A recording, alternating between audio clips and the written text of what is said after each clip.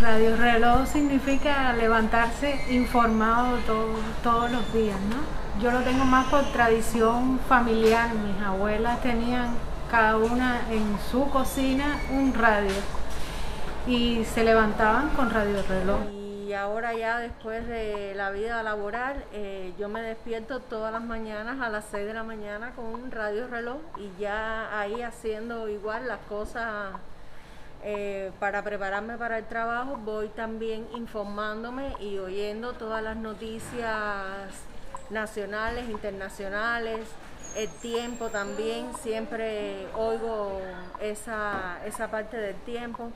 Incluso para a veces cuando uno, los que tienen que hacer guardia, estar hasta tarde, Radio Reloj es eh, una emisora que está acompañándote, es una voz eh, agradable, informativa, que puedes escuchar, apoyarte en ella, eh, que te da compañía como tal, además de, de decirte la hora y mantenerte al tanto de, de cómo va el avance del, del tiempo de manera general.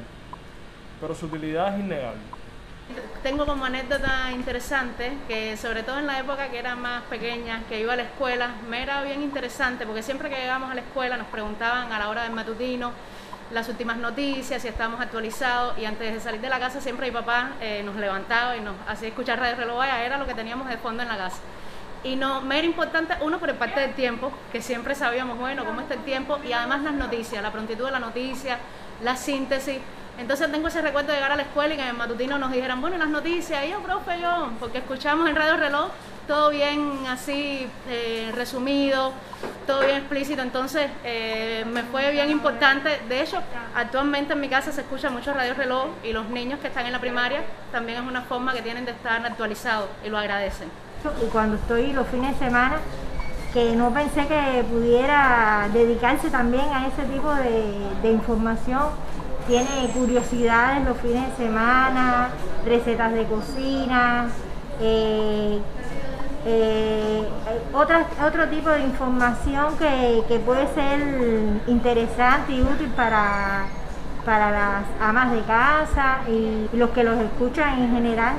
Me imagino que sea bastante sacrificado ese, ese trabajo. Eh, al menos en, en mi caso, yo disfruto y me emociono cada 13 de marzo cuando eh, retransmiten todos los sucesos de, de la toma de Radio Reloj por José Antonio Echeverría. Eh, me traen dulces recuerdos de toda mi infancia y, siempre he reconocido el alto nivel de todos sus locutores, un nivel de excelencia en la locución. A ver, Radio Reloj para mí fue por muchos años, sobre todo en mi vida estudiantil y en los primeros años del trabajo también, la manera de despertarme. Y escuchaba Radio Reloj para tener noticias frescas por la mañana y el Radio Reloj me acompañaba mientras estaba uno levantándose, aseándose, tomando el café, tomando el desayuno. Entonces eso fue mucho tiempo así. Y yo felicitar a los trabajadores de Radio Reloj, 75 años dando, dando noticias, las 24 horas del día, se puede decir muy rápido, pero es algo grandioso. Además no, no, no han parado en pandemia, no, parado, no paran en ciclones, son los que están eh, día, día y noche dando las noticias. Yo creo que nada, muchas felicitaciones y trabajo asombroso y admirable.